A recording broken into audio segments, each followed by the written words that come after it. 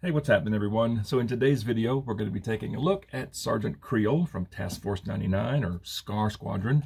So I did not read these comics, so I'm not 100% familiar with the characters. But when I saw a stormtrooper with a lightsaber, I said, yeah, I need one of those. And of course, it comes in the Lucasfilm Publishing style box. Got this cool picture of Luke and Kreel battling. So I'm guessing this is sometime between A New Hope and Empire. He's got his Yavin ceremony jacket on, but very cool picture. Star Wars up there, Sergeant Kreel down there. And on the sides, you have this, Sergeant Kreel, very nice picture, top, just more artwork. Yeah, it looks great. There's up, upside down. There's that shot. Yeah, pretty cool. He's got an SE-14R blaster pistol, which is kind of unusual to see a stormtrooper with that blaster, but it's a cool picture. Got this on the back. Yeah, that's awesome right there. Got some tiny print that no one reads. And then I have a barcode sticker over the barcode. And on the inside, you have this. And man, I'm going to miss this window. yeah, you can see Kreel just looking great. It's got an E11 blaster, his lightsaber. Now, I'm pretty sure that's Plo Koon's hilt that they used. It looks kind of familiar, but yeah, it looks great. Got this over here and a short bio in several different languages. And I'll just read the bio real quick. It just says, Sergeant Kreel, formerly Undercover Agent 5241, serves as the leader of an elite group of stormtroopers, Task Force 99, better known as SCAR Squadron, under the direct command of Darth Vader. All right, I'm going to get Sergeant Kreel open, and let's take a look at him. Okay, so here is Sergeant Kreel out of the box, and I don't want to spend too much time on the figure. I mean, it's a Stormtrooper on the new body, but there is some new little bits here and there that really take this figure to another level. Let's get a close look. The helmet, it's a Stormtrooper helmet. It looks exactly like it's supposed to. As far as paint, I have a little bit of a whoopsie right there.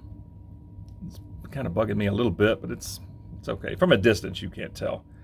But the rest of the paint looks great. The eyes, mouth grill, all this in here, that, yeah. It looks nice. That's what the back looks like. It's a Stormtrooper helmet. From the neck down, it is the new body, but the chest is new, right? This is smooth, and this chest here, this overlay piece does not float, you know, like the other one. And that's nice. Now, the pauldron, it does float. It, it's, it's held on by his neck, and it does tend to move around but it does look good. I think the Imperial symbol is very clean. It's a nice shade of orange, some nice detail in there. That's what the back looks like. It's sort of tucked up under his neck there. Yeah, the pauldron looks great. The shoulder bells are the same. So these pouches here, these can also float. These are not fixed anywhere, so these tend to slide around.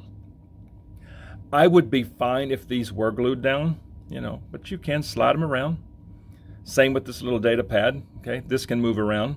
So if this was glued down, it would be fine. I would not have a problem with it, but the blue is very nice. I think the straps on both look good. This little pouch looks nice. Nothing much going on the right arm. It's just armor. The back, so he's got this little jetpack on. There's no paint on it anywhere, but the jets look good. All this detail in here looks fantastic. There's the back of him. The belt, so the belt is a little bit different and I think it looks great. His belly looks very nice, all blacked out right there. I love that. Now, this holster, okay, right out of the box, this little strap right here was completely broken off. So I had to super glue that back, which is unfortunate, but it went back okay. I was kind of bummed about that, but the holster does look pretty good. This little pouch here can also move around. Okay, that's not fixed. Okay, but you can sort of jam it up to his upper thigh and it stays put. And you have this pouch on this side that is kind of free. Okay, it's it's glued here and there. Okay, but it's nice that it can move. You know, gets out of the way of any leg movement. And then the legs are just stormtrooper legs. Okay, nothing much to speak of there. You know, just like the other one. But from head to toe, you know, all these added bits here, the pouches, the pauldron. It's a good-looking trooper. And for side-by-side -side comparisons, I just grabbed just a straight-up plain Stormtrooper on the new body. So as you see, Kreel's chest is nice and smooth. This one has the quote-unquote pecs sculpted in. As far as the belly, it might be the same sculpt. It's just this one's blacked out. Same arms, just he has some added little bits there. Same legs, he's got this strap and this little pouch over there. If you turn him around, okay, Kreel has the jetpack and there's some extra pouches over here that aren't on the regular Trooper. As far as helmets, the helmets are very, very similar. The colors, you know, like on the lines down below the you know, like down here. It's a little different. Apart from that, it's the same figure, but they could not have chose a better body for Kreel. And as far as articulation, I don't want to spend a whole lot of time, but you do have some side to side of the head, but the pauldron does want to you know, wiggle around with it. He still has a little bit of down, some pretty good up, and the tilt is still there. The arms, yeah, the shoulder pads just flex up, so they get up that far. They can rotate around. Now, of course, the shoulder pad wants to get deformed, you know, because it's on a little ring, so sometimes you have to manually put that back where it goes. These pouches, okay, this one just slid down. Like I said, if these were glued, it wouldn't bother me a bit. Okay, they do tend to slide. Same with this little data pad. It wants to slide and rotate around. Yeah, but he's got some he's got some really good butterfly joints, and this thing wants to move around again. He's yep, there it goes. Uh, stay put. Single elbows, and they both get past 90, which is just wonderful. He's got a swivel at the elbow, swivel at the wrist, up and down hinge on the right, side to side on the left, as far as midsection, swivel, little bit of crunch, some very good back, and some very good side to side tilt. And as far as legs up, you know, you could rotate the thighs out. They get up that far. He has a swivel at the upper thigh. They go out pretty far. They don't, well, yeah, they go back to there. Single knees that get a little past 90 swivel at the knee joint. Feet go down that far. They go up to there, and there is some swivel at the ankle. So as to be expected, the articulation on Kreel is excellent. And as far as accessories that come with Sergeant Kreel, there's the E11. It's just black. There's no paint anywhere on it. You know, the silver that's there sometimes it's not there, but the sculpt is very nice. I mean, it looks just like it's supposed to look. So yeah, just a standard E11 blaster. And as far as him holding this, Man, the hand is tight. Okay, yeah, that goes in the hand very well. The trigger finger is right on the trigger, and I love that. And I think he looks very good holding that with one hand. It's very stable. It's not going anywhere. Yeah, that looks nice. And for two-handed aiming, yeah, this body is very good. So yeah, you can get the blaster low like that. And of course, using this new Stormtrooper body, you can get the blaster up here, and that looks very nice right there. And with these amazing butterfly joints, you could get the blaster even a little more forward. And I'm loving that. And even just at a relaxed stance, it looks great.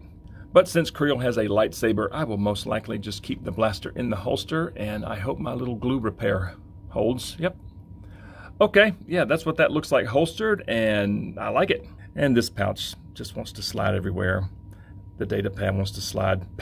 yeah, just want to point out real quick that if the blaster's in the holster, it does get in the way of left arm movement, so yeah, just be mindful of that.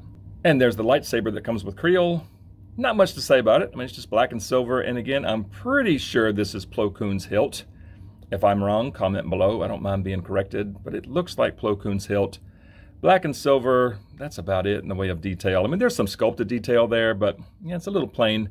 The blade is a very nice shade of green. So yeah, I'm liking that, but yeah, that's what the saber looks like. And as far as him holding this, man, the right hand is super tight. I guess that's a good thing. Yeah, all right, so he holds that very well in one hand. That is very stable. It's not going anywhere, and that's a nice shade of green. And you can get it in two hands, and these butterfly joints really help. You, know, you can see how that arm is just forward.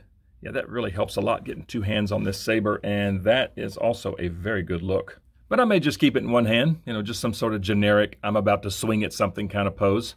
I'm going to go put him on the shelf, and let's see what he looks like there.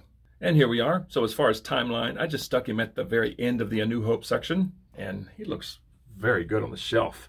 The orange pauldron, the green saber really stand out. And speaking of standing, you can see how he scales. So he's a lot taller than Leia, way shorter than Chewie. If I move him, let's see, I'll put him over here next to Vader and Tarkin and the other trooper. So yes, he's the same size as that trooper about the same height as Tarkin. Of course, he's shorter than Vader. But man, he a good looking figure. But for now, I plan on keeping him right here, and I think he looks really good next to the comic version of Leia. I mean, what an awesome little duo there. Two good looking figures side by side on the shelf. Yeah, I'm pretty happy. So bottom line, it's a great looking figure. Yes, it's a Stormtrooper, but just the new little added bits here and there just really make this figure. These pouches, yeah, they're a little fiddly sometimes. You know, when you're handling the figure, they tend to slide around. But once you get them positioned, if he's just on the shelf, they're going to stay put. The blue here is very nice. The bright orange on the pauldron is just awesome. Just love that. Saber looks good. And of course, being on this new Stormtrooper body, he holds his blaster very well. Yeah, from head to toe, this is an awesome figure. But I want to hear from you guys. So please comment below and let me know what you think of Sergeant Kreel. And if you enjoy videos on Star Wars The Black Series, please consider dropping a like on this video, subscribe to the channel if you're new, and please turn on notifications. I'd certainly appreciate it, and I just thank you all so much for watching. We'll see you guys next time.